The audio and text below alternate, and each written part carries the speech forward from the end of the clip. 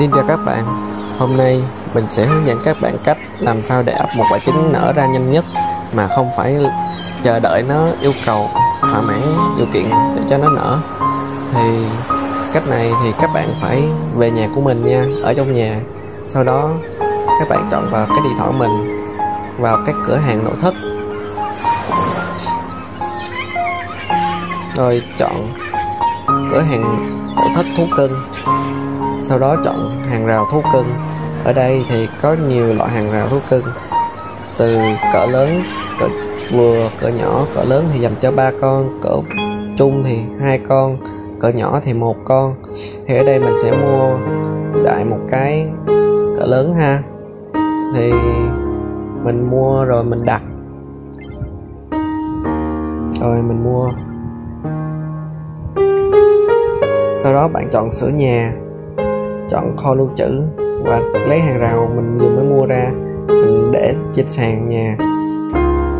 Sau đó bạn lại cái chỗ hàng rào của mình á chạy lại sát sát vô. Rồi nó có cái hình cái hiện mà hình đặt con thú cưng vô đó. Thì cái quả trứng mà mình đang dắt theo á, thì mình không có đặt được. Mình phải bỏ cái quả trứng đi theo ra thì mình mới có thể đặt vô vô được.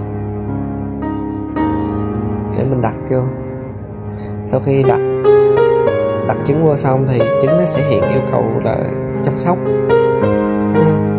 Lúc này thì nó sẽ có bốn loại là đó, uống sữa chơi banh, rồi gì đó thì mình chọn cái uống sữa là cái thấp nhất.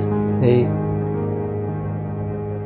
mình có thể xem quảng cáo giảm 30 phút trong khi thời gian chờ và mình tua qua cái thời gian đoạn quảng cáo ha. Sau khi cho uống sữa xong thì mình cho nó ăn vật phẩm đặc biệt. Cái này tăng tới 50 tim lận, thì 50 tim này nó dễ dàng nở.